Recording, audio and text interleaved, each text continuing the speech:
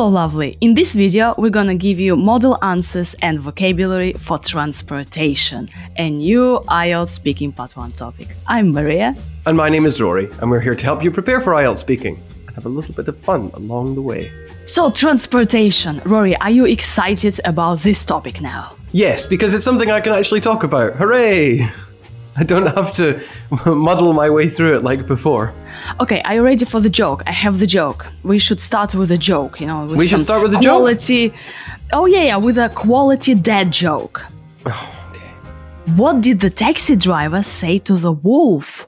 Wo- wolf, wolf, yeah, who got into his cab? I have no idea. Werewolf.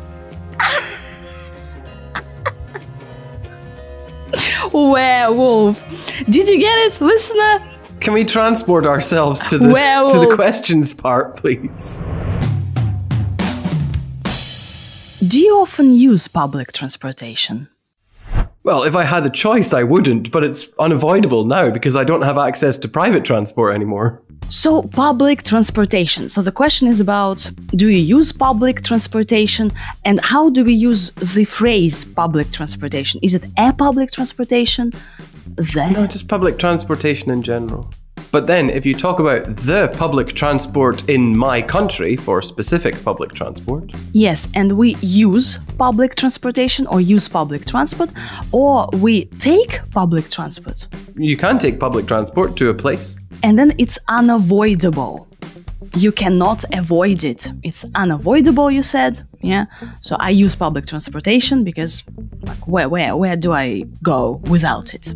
Yeah. Yeah, if, if something is unavoidable, then you you just well, it, it's you can't stop using it. Basically, I could drive a car, but that would be very illegal and very dangerous, considering I haven't passed my test yet. Oh, not yet. You've been doing it I think like for 2 months, half a year. I no, we should, I've I've had like um what five lessons? That five lessons today. Actually at the time this is going out um or sorry at the time this is being recorded i will have had five lessons and i was in a lesson before i came to this um before i came to this recording. So i was a little bit late because of that. Hopefully by the time you're watching this i will have made more progress. Yeah, you said that you don't have access to private transport anymore. So, private transport, your private car, right? we should probably talk about the difference between public transport and private transport. So, public transport generally is stuff that's used by, or sorry, means of transport that are used by lots and lots of people, um, and they're they don't own it directly, or um, they haven't paid for it. Um, like they've maybe paid a little bit for it, but they haven't paid a huge amount. Whereas private transport is something that you own um, and you have control over, and you've paid a huge amount of money for. So, a car, for example, is private transport even if you're renting it, you're still paying a lot of money for it. Um, and in the same way, um, a taxi. Now, I always think that taxis are private transport, but what do you think? Really, I think it's public. Still, no, it's not yours. I know, but you still pay more, and it's still for you, so it's kind of private. Taxis are on the borderline. Interesting. Also, dear listener, watcher, viewer, if you have a private scooter or a private bicycle, it's also your private transport. Did you take public transport when you were a child? I think if we didn't have the car, then we would. Um, oh, unless oh yes, unless I was visiting my grandmother, um, then I would always take the bus by myself. And uh, well, that all felt very grown up at the time, even though it was a very short journey to make. The bus routes are not very long, at least where I'm from.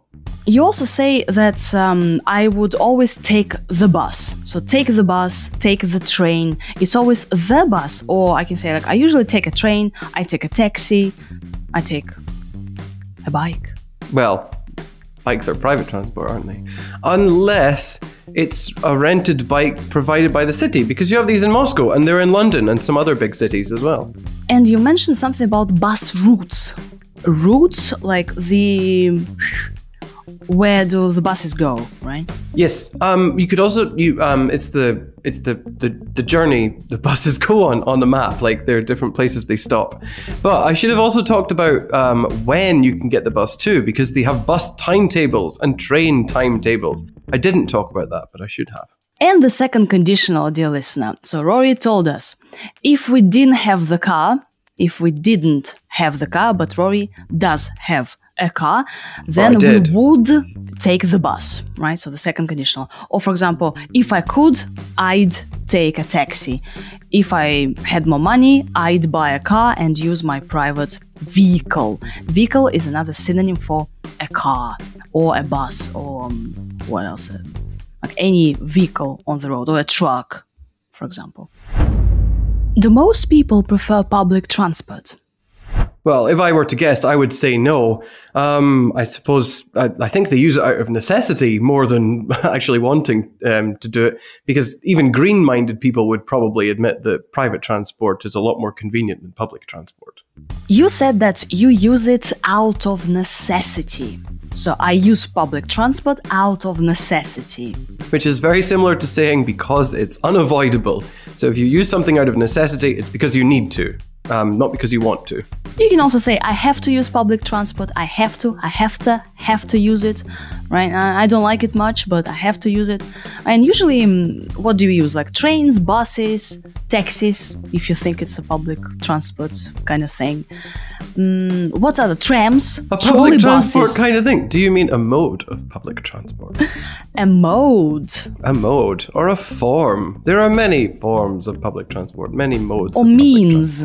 Yes, or means as well. Means of public transport. you take a bus as a mean. Oh, sorry, you use a bus as a means of public transport. Yes, you were saying. Yeah, you use a bus as a means of public transport. A means of. Okay, it's a bit strange. Yeah, Rory, have you ever seen a trolley bus?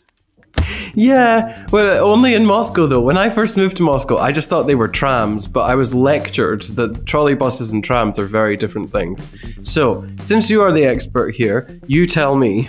Yeah, we used to have trolley buses. It's like trams, trams, and trolley buses. But not anymore. I think we, we don't have trolley buses in Moscow. You don't? now.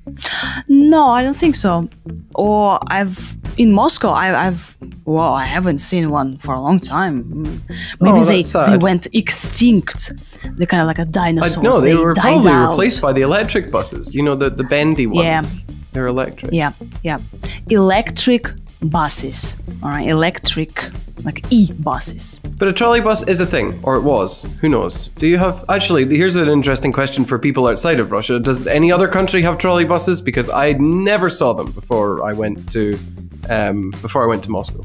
Rory, um, tell me, mm, what are these uh, green-minded people?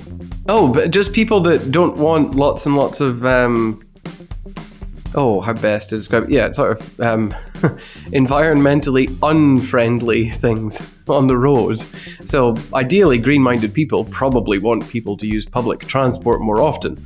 But public transport can be inconvenient, whereas because you have to go somewhere in order to get it. Whereas if you have your own private transport, then you can just jump in it and go where you like. How green are you? Hmm? Could you write in the comments? Are you like Uh, uh, I a thought you were asking me directly person because I or am no? not green at all. Yeah, I'm not green. Sorry. What's the most popular means of transport in your hometown? Definitely cars. You would see it immediately if you lived here. They line both sides of the street. Uh, thank heavens there's only about a thousand people here. Otherwise, um, everything would be packed and it would be impossible to move. You said something about like line with. That's a nice verb to use about cars and oh roads. yeah, the street is lined with cars or parked cars because um, you have them parked on both sides and they go in a line. Um, I make it sound like my um, my village is actually like some sort of uh, hellhole that's overrun with cars, but it's not. There are lots of cars, but it's still quite nice despite this. And you can say, for example, thanks heavens. I don't have many cars. Like, thanks heavens, like thank you, universe. Yeah, that we don't have too many people who have too many cars. Yes, because that would be awkward. Is driving to work popular in your country? I would say so. Um, and I would say it with more certainty if I could see the statistics more closely. Um, certainly, it's um, it just seems obvious since places where I live are so far. Sorry, places in my country are so far apart. A good strategy is uh, to talk about statistics. So, for example, the examiner asks you, is this more popular or is this popular? And you go, well, if I could see the statistics, the statistics, okay, the numbers, if I could see the statistics, um, Rory said, um, if I could see the statistics, I, I, I would tell you more about it, for example, or my answer would be more specific. Yeah. So when you have no idea what to say, just uh, this use these statistics. Oh, I don't know the statistics. I haven't seen the statistics. I haven't seen the statistics. But if I had, then maybe, or probably. And then a nice one is I would say so. I'd say so. I would say so. I'd say so. Like, what do you think? Is this more popular? Is this more popular? Hmm, I would say so. I'd say that cars are more popular, right? Or are cars popular? I would say so. It's like if you're not sure. Will you use public transport more in the future? Well, if I were to guess, I would say probably not. I mean, um, I like working from home, um, and well, private transport is much more convenient. Um, and to be honest, with the worsening weather, the roads are becoming increasingly um, unnavigable. So I, I can see um, less and less public transport in my future. Private transport or public transport is more convenient, okay, or is much more convenient. If, for example, we have um, a lot of traffic jams, right? I can say that, okay, going by metro is much more convenient. Why not comfortable? Can I say it's comfortable? Like, you know, my jacket is comfortable. Mm. Well, convenient is to do with. Oh, I'm going to really simplify this. Convenient is about access, whereas comfort is about feeling comforted. Like it's about having a good feeling. They're close, but they're not the same. You said this word unnavigable. Uh, unnavigable. The roads are unnavigable, which means you cannot navigate them because they're becoming, well, the condition is getting worse. Uh, say it again. Unnavigable. Unnavigable. Yeah, the roads are becoming unnavigable. Just unnavigable. Mm-hmm. Unnavigable. Are there any traffic problems in your area? When I think about what it's been like since I moved, I wouldn't say so. I think the worst case scenario is if you get stuck behind a tractor or a flock of sheep. But um, there's not, there aren't any major problems like traffic jams or like majorly congested roads or anything like that. When we talk about traffic jams, the word to use is congested. The roads are congested. They're full of cars. The cars are everywhere. So the roads are congested means they are packed with cars.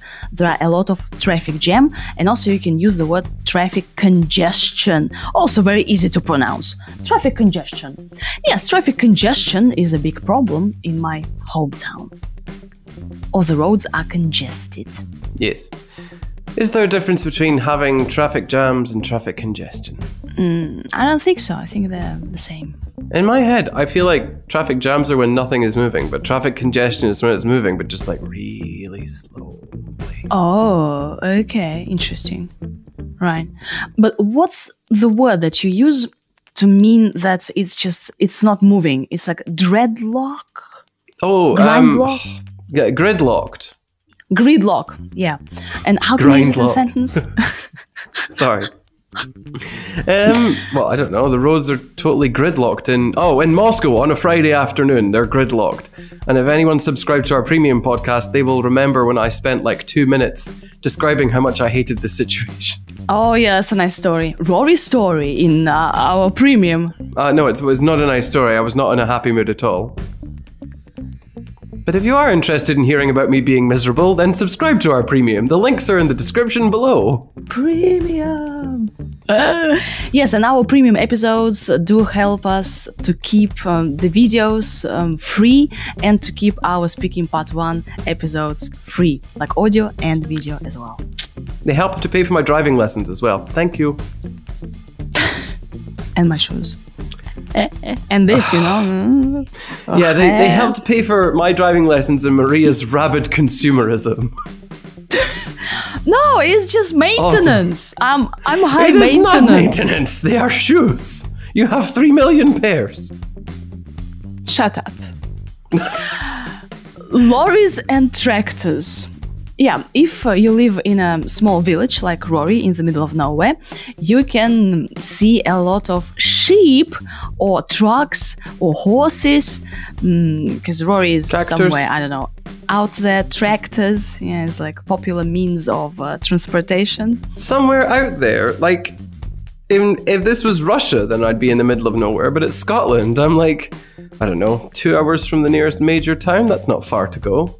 Oh, come on, from the major town in Scotland, but Scotland Well, is. no, you know- from a major city in Scotland. Sorry, the nearest town is about 20 minutes away. That's not so bad. Oh, ah, okay, all right. The nearest town has 20,000 people. And Maria's just thinking, so the population of my street. How would you improve transport in your town? Well, if I were in charge of the local authority, I would definitely have, mm, well, um, what would it be? Um, a greater number or um, vastly improved bus links between the villages because there aren't many right now, and it would make my life more convenient. And if I had an infinite budget, then I'd build a light railway between them as well. But I think that's probably impractical and like probably exorbitantly expensive as well, thinking about it. A nice strategy is to use the second conditional and say, if I were in charge, you know? So, how would you, what would you do to improve the road situation? Yeah, anytime you're asked about improving something, you could just say, well, if I were in charge, or if I had the power, unlimited power. If I were in charge of the local authority, right, or the local council, or if I were in charge of the government, I'd do something. And Rory, you said um, that I'd probably have a light railway.